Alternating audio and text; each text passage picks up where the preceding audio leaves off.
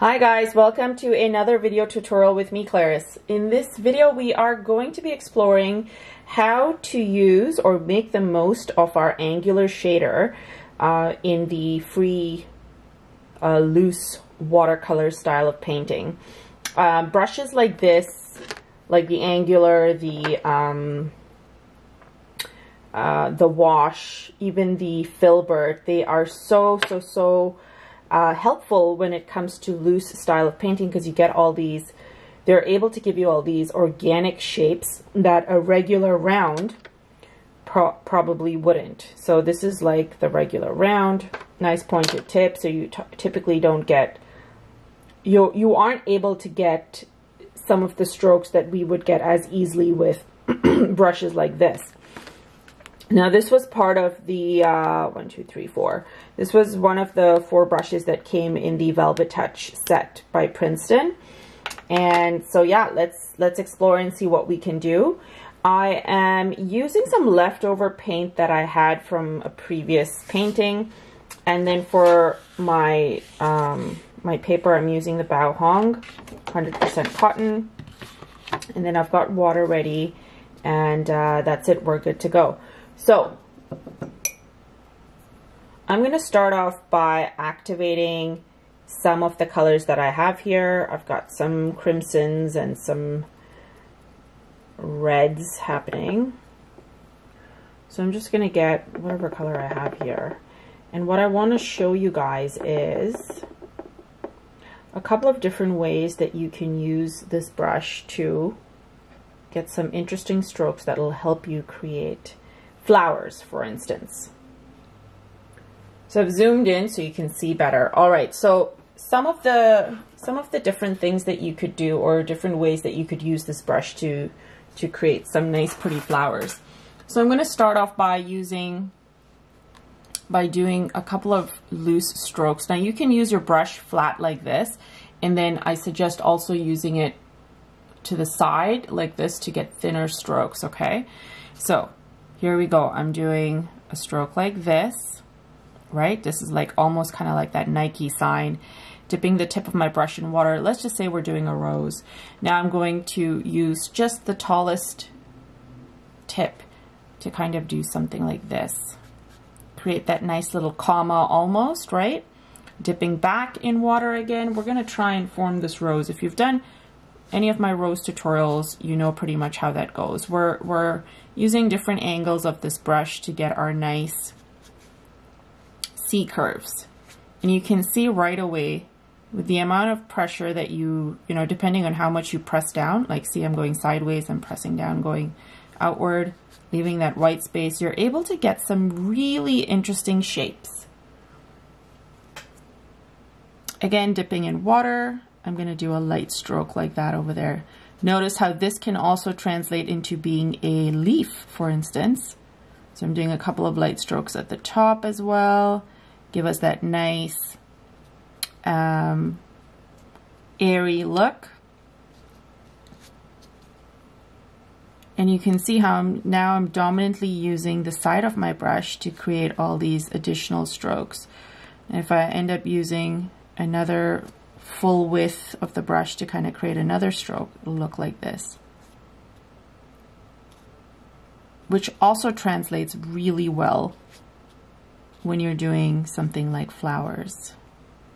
So in like in all my videos I say, you know, don't be afraid to try new things. Press down on your brush, see how much you can get. Try and, you know, really gain or master control over your brush control and see what happens. Um, and just play around. Take a sheet and just play around. And uh, yeah, you might just surprise yourself in terms of what you can achieve. So this is one way you can get a flower. There's honestly so many other ways that you could probably achieve this result or similar to this.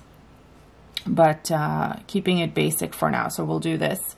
And then I'm just going to take some of the darker shade to show you like another basic sort of flower.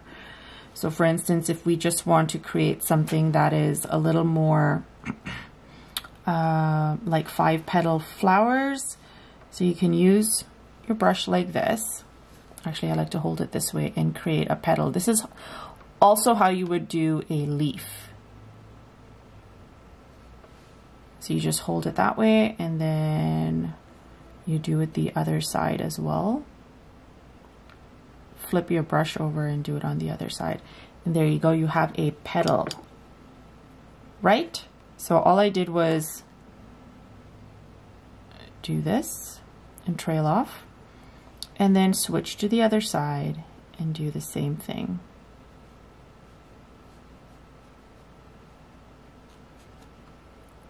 I believe this is also how people have previously done the flowers for hydrangeas or the hydrangea petals. And now I'm just using the tip of the brush to sort of go in and do looser petals because that's what I want for this flower.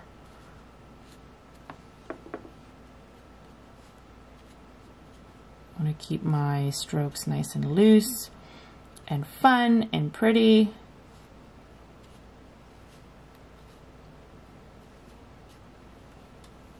Okay, so that's pretty basic, right?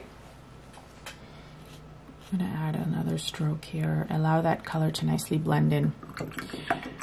Let's try and do some some leaves at this point. So I'm just going to get a little bit of the yellowish green from my Prince, um, not Princeton, from my White Nights, and I'm just mixing it in with, I think this was a little bit of sepia, I'm not quite sure. Could be wrong but I typically just want like a nice darker green or more wooded green.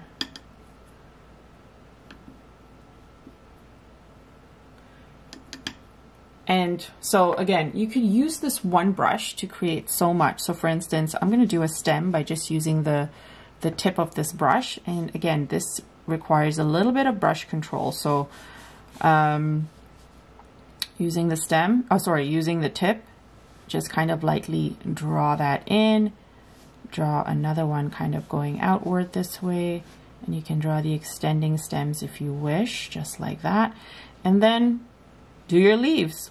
So depending on what kind of leaves you want to do. So I'm going to try and do the thin leaves. So there we go. All I'm doing is using the tip, except this time, instead of going lightly to create thin lines, I'm using the tip to press down and create some leaves for me. Same thing over here. This way I'm going to go the other direction because I wanted this leaf to be curved a little bit. And so you can see that you can get a ton of different organic shapes with this angular brush. So never just discard it or, you know, don't like not explore or experiment with it because there's just so much you can do. Okay, so those are the thin leaves. How about some nice thicker leaves? Okay, so let's do a couple down over here.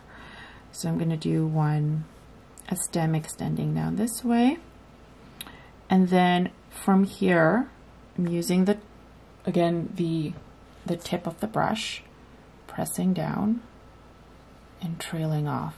And this is one way you can do a leaf. In fact, I may have even done a video on pansies. I think, I'm pretty sure I did, showing you how to create the pansy leaves like this, I believe. Can't quite remember. So again, pressing down, using the tip, right? Pressing down, trailing off. And then you can always modify the shape if you want it to look a certain way or what have you.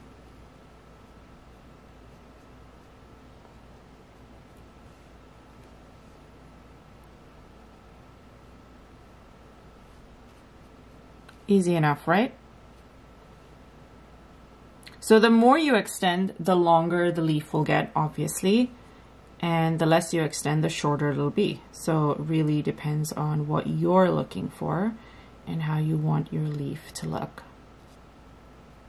And then you can just sort of do the lighter flowy leaves here and there. Again, you get some amazing shapes with these brushes for a loose style of painting. So as you can see, we've got some nice thins, we've got some nice regular leaves, we've got some flowers. So there's a lot to be done. So I hope you guys found this video um, insightful on how you could possibly use your angular brush to take your loose watercolor flowers to the next level. Um, let me know in the comments what you thought. If you have an angular brush, if you plan on using it, if this has sparked a lot of ideas within you and you're like, I'm ready to go, let's take a sheet and start painting. Um, I'd love to see what you come up with, so please tag me. And one thing I want to say is just feel free to take a sheet and select some colors that you like and just go crazy painting all over. Here's an example of what I mean by all over. So this is a sheet that I sort of just went to town with using the angular brush. All of this right here, angular brush. All of this right here, angular brush as well. So, you know, explore contrasting colors or just take whatever colors are left over on your palette and just practice because this is how you learn and this is how you get accustomed to not just the medium of watercolor but also using your brushes and getting various sorts of shapes and such. All right so thanks guys for watching. Hit that like button if you found this uh, instructional video helpful to you. And please also consider subscribing. You can tag me on Facebook and on Instagram as I mentioned previously, I'd love to see your work. And that's it. Thanks, guys. Bye.